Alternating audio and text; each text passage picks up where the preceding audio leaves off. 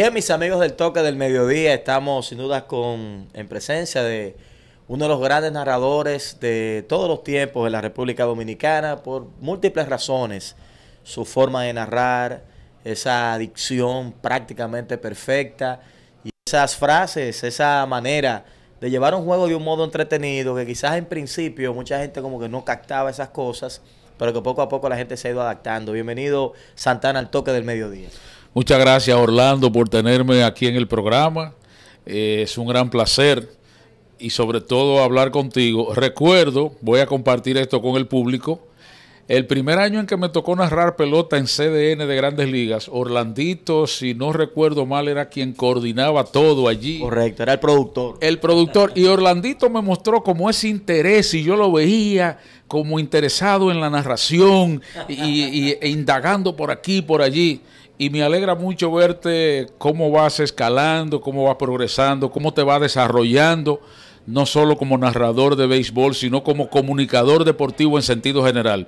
Aquí nos sentimos muy bien y, agradecer a los productores, coordinadores, comercializadores, a todos ustedes que una vez más nos dan la oportunidad de formar parte de este gran equipo. Santana, ¿cuándo llega la primera serie del Caribe?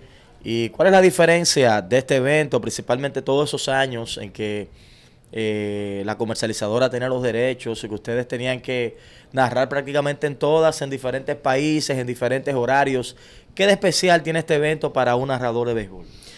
Mi primera serie del Caribe, yo comencé a narrar con las Águilas en el 2004-2005 y ya en el 2007 la comercializadora, el fallecido Juanchi Sánchez, nos invita para ir a narrar en vivo a Puerto Rico en el estadio Roberto Clemente de Carolina y mi primera experiencia narrando en Ser el Caribe por radio en vivo es un juego de 18 entradas. Wow. Entre los equipos de Venezuela y la República Dominicana con las Águilas. Eh, y después, posteriormente, narrando ya desde Santiago, una Serie del Caribe en México, me toca otra vez participar en un juego de 18 entradas. Pero esa vez era en México pero narramos en Santiago, en el Estadio Cibao. Digo que eh, era en México por el tema del horario, por un juego que comienza después de las 10, que dura 18, es prácticamente amanecer narrando. Terminamos a las 6 de la mañana. ¡Wow!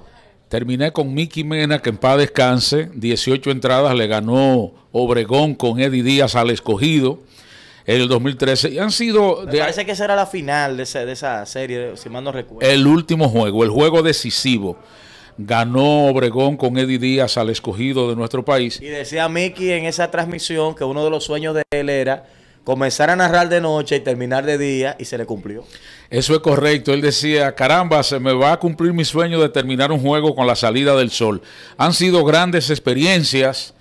Eh, desde el 2007 para acá, todas esas series del Caribe, gracias primero a Juanchi y ahora a la comercializadora Axiomiria que nos ha permitido darle seguimiento a estas experiencias. El año pasado vino un torneo interesantísimo, de las Águilas pudieron ganar viniendo de atrás y logran ganar esos siete juegos en línea. Para un narrador de un equipo en la pelota local, ¿qué tanto peso tiene? ¿Qué tanta emoción? En mi caso no lo he vivido porque yo inicié con los gigantes y los gigantes todavía no han ganado una serie del Caribe. Estamos esperando vivirlo este año.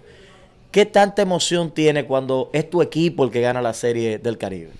Es algo extraordinario y sobre todo, como tú mencionas, esa serie del Caribe del 2021 en México, la transmitimos, tú formaste parte de ese equipo en Telemicro.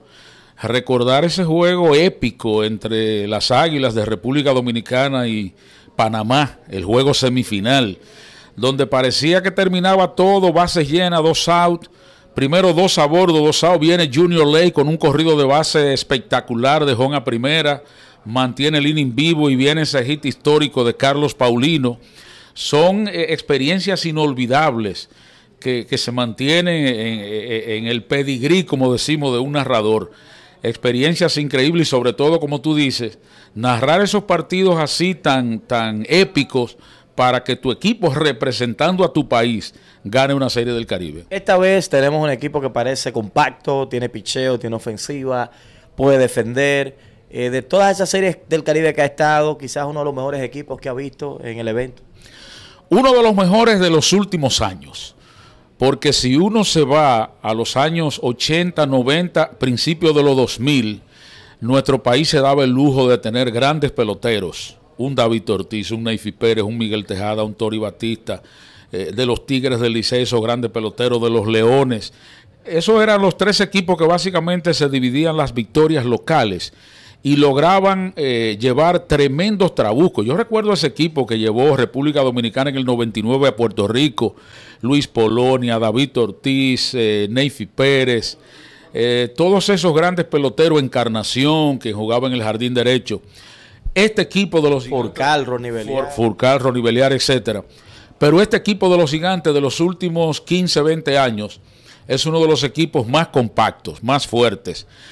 Eh, hasta ahora creo que todavía no ha desarrollado la ofensiva que todos esperamos. Como tú dijiste, buen picheo, buena defensa, pero esa ofensiva debe producir más Ojalá que unos bateadores importantes que hay ahí en el medio de la alineación vayan al plato con un poquito más de paciencia. Pero yo creo que ese equipo está destinado a ganar esta serie del Caribe. Bueno, señores, ahí estuvo Santana Martínez. Eh, sin dudas, un hombre que impacta en la narración de la República Dominicana. Bueno, Santana, vámonos recogiendo entonces. Recojan que esto se acabó. bye bye. Bien, señores, estamos aquí con el Chapulín Colorado. El hombre me dio una pastilla de, la, de chiquitolina para que yo me la suelte ahorita y pueda meterme ahí y sentarme en un asiento ajeno. Ah, Habla...